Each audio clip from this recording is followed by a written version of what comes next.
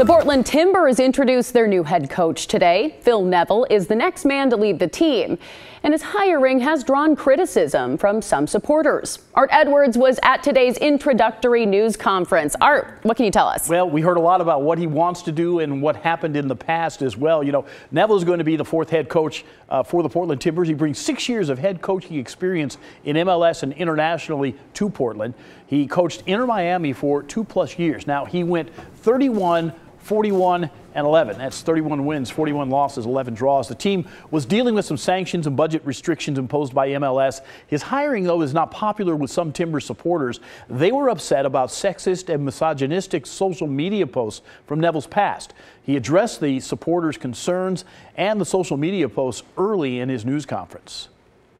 I think I addressed these in 2019 when I was named the head coach of the, the England women's team they're, by no means a, uh, a reflection of me as a person, as, as me as, as my character, and without a shadow of a doubt, the way that I was brought up by my mother and father in terms of the values that they instilled in me. The, the tweets that I put out was, was, was wrong in 2011, and they're wrong today.